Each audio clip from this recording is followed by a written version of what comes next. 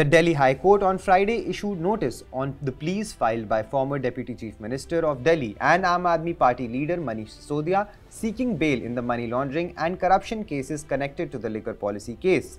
Justice Swarana Kanta Sharma sought response of the Enforcement Directorate that is ED and Central Bureau of Investigation that is CBI and listed the matter for hearing next on May 8. Senior advocate Dayan Krishnan appeared for Sisodia. He said that an application has also been moved seeking that during the pendency of the bail pleas, the trial court order allowing Sisodia to meet his ailing wife once a week be continued. Special counsel Zoheb Hossain appeared for ED and submitted that the probe agency has no objection if the trial court order is continued.